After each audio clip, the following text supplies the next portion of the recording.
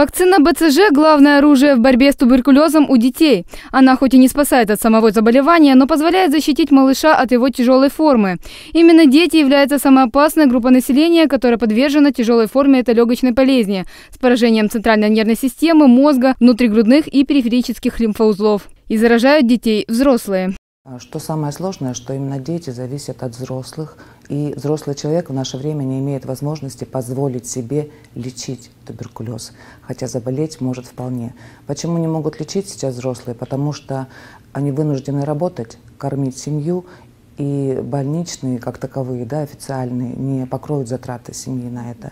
И поэтому люди, больные туберкулезом, находятся рядом с нами, э, болеют успешно, и успешно нас заражают. Тенденция к отказу от прививок и к БЦЖ в частности очень опасна, особенно для жителей Приморья. Приморский край занял третью строчку по количеству больных туберкулезом. На 100 тысяч человек приходится 280 больных. Распознать больных туберкулезом не так легко, как кажется. Кашель, кровохарканье, да, похудание – это только тогда, когда уже очень тяжелые и очень осложненные формы туберкулеза. То есть больной туберкулезом человек, он похож на нас с вами. Дай Бог нам всем здоровья. Это обычный человек, иногда уставший, иногда э, как бы так, синяками под глазами, да, что-то не доел, где-то не доспал, довольно раздражен.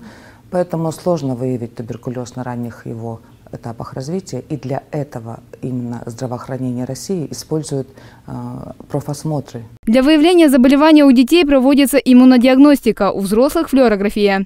Лечением и профилактикой заболеваний занимается детская туберкулезная больница, на базе которой также открыто отделение амбулаторной профилактической помощи. Специалисты отделения консультируют детей со всего Приморского края.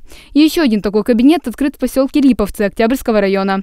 Туда поступают жители отдаленных районов Приморья. Предупредить заболевание э, всегда можно.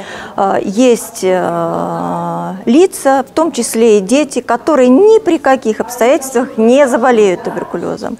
И есть дети, ну мы сейчас говорим о детях, которые при любых обстоятельствах могут заболеть туберкулезом. Специалисты детской туберкулезной больницы регулярно выезжают в районы края для обследования детей и назначения лечения. И такая комплексная работа дает результат. В крае относительно 2016 года детская заболеваемость туберкулезом снизилась на 30%, подростковая – на 25%. Катерина Матвеева, новости на восьмом.